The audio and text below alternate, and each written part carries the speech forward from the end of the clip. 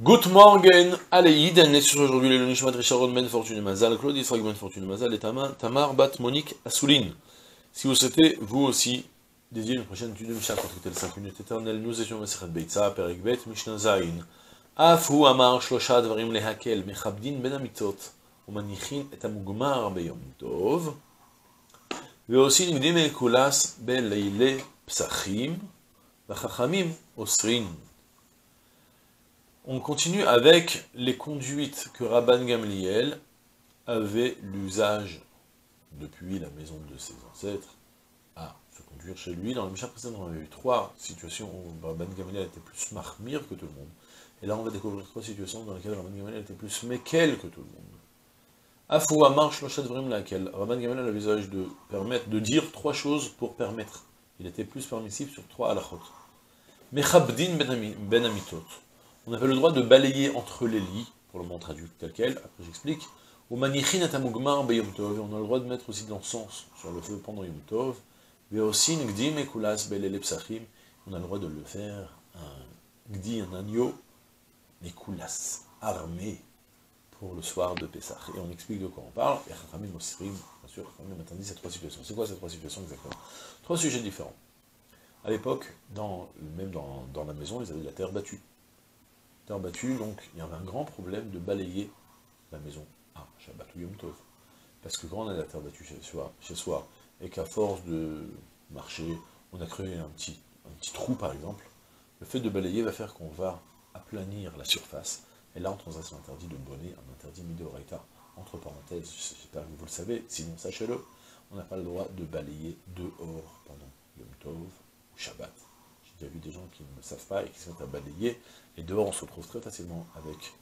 Il y a un décret tout court, donc jamais balayer en, en surface découverte, mais il y a particulièrement, en plus, si vous retrouvez avec des, pierres ou du sable, ou... Euh, d'accord, un truc un petit peu sauvage, un, un, sol un peu sauvage, où facilement on va se retrouver avec des situations où il peut y avoir des, petites, des petits trous, des, du sable qui, est sorti entre deux, entre deux dalles, et lorsqu'on va balayer, on va aplanir tout ça, on peut transgresser facilement l'interdit de Midéoraita, et même Midérabanan, c'est interdit de toujours balayer. Balayer à la maison, c'est permis, il y a sur ça des chromodes pour les Ashkenaz, en tout cas, de manière générale, c'est plus, plus permis. Mais en surface découverte, avec un revêtement euh, où on risque d'aplanir des... ou dans la ville, par exemple, en, jardin, ou bien c'est fréquent, avant le jardin, on a un petit un petit, morceau carrelé, et puis après on rentre dans le jardin, il peut y avoir des graves problèmes. Je reviens sur, le, sur notre Mishnah.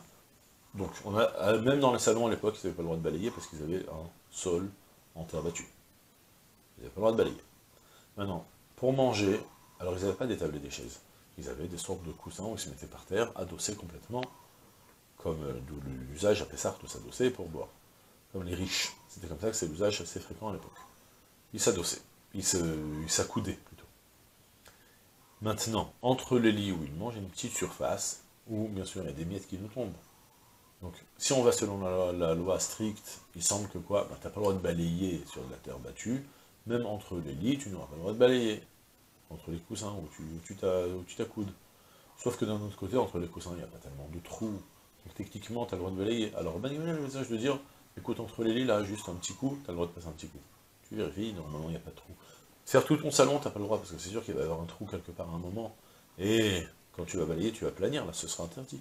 Mais, mais par contre, dans le balayer entre les lits, c'est pas grave, tu peux le faire. D'accord? Premier sujet. Deuxième sujet, et on a le droit de poser une encens sur du feu pendant Yom Tov.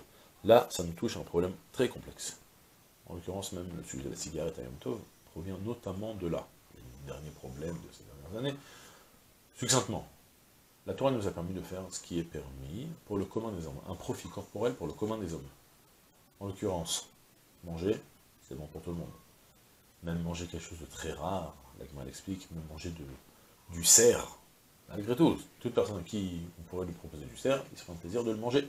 On n'en a pas parce que techniquement, on, va plus tellement à la chasse à notre époque, mais euh, en théorie, donc c'est permis.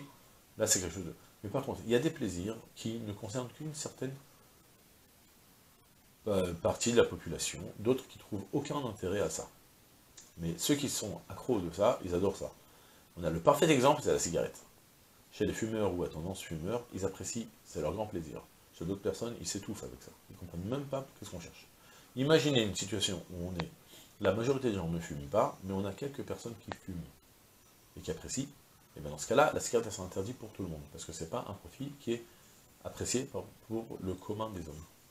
Si on se retrouve avec la majorité du monde qui ne trouve pas de plaisir dans la cigarette, eh bien, il s'avérera que la cigarette n'est pas un plaisir pour le commun des hommes, on n'a plus le droit de fumer pendant une top. Ce qui permet de fumer en top, c'est parce qu'ils considèrent que la majorité des gens euh, fument, apprécient la cigarette, donc c'est permis. Entre parenthèses, il y a des problèmes soulevés maintenant qu'on a découvert que la cigarette elle est tellement dangereuse, elle fait tellement de, mal et de dégâts, et qu'il y a beaucoup de personnes qui s'en empêchent, tout ça, peut-être que finalement c'est plus un profit. Là, on rentre dans des problèmes de poskim, on n'en parle pas, c'est pas notre sujet, nous on fait de la Mishnah et pas de la halakha. Et donc, il y a, donc, de selon ce principe aussi, ils avaient comme ça, les riches à l'époque, ils mettaient des encens après l'avoir mangé, ils mettaient des encens à brûler, ils appréciaient, ça faisait une bonne odeur. Les pauvres, ils comprenaient même pas ce que tu cherchais à brûler ces, odeurs. C'est comme, quand on était jeune, on passait dans les puces de, pas de dans les autres là, il y avait là-bas des encens, c'était... D'accord Quelqu'un qui n'a pas grandi dans ça, il comprend même pas qu'est-ce que qu'on cherche avec ces odeurs, ça, ça sent pas bon à la limite. D'accord? Ça c'était deux. Et troisième conduite, c'était aussi Ndimekulas Belele Psachim. On fait, alors là je vous ai traduit ça par un agneau armé. En fait c'est quoi On connaît ça depuis Maseret Psachim, on s'en rappelle déjà? C'est qu'ils avaient l'usage, à l'époque du Beth Amikdash, de faire cuire l'agneau.